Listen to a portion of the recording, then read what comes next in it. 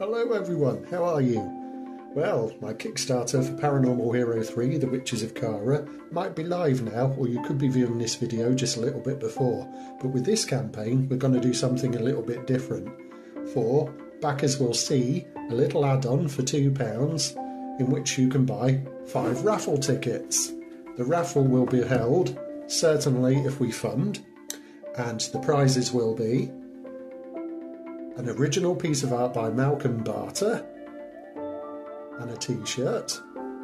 The second prize will be you will be characterised in the story Paranormal Hero 3 The Witches of Kara, and a t shirt.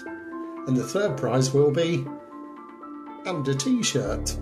Okay, so if you fancy that, pop on over to the Kickstarter, back it, put the raffle add on on your backing, and uh, well, if we've funded, you can also send me a little message on Facebook or Twitter or wherever you're viewing this from, and you can send me a PayPal for £2, in which you will get a strip of five tickets for the raffle.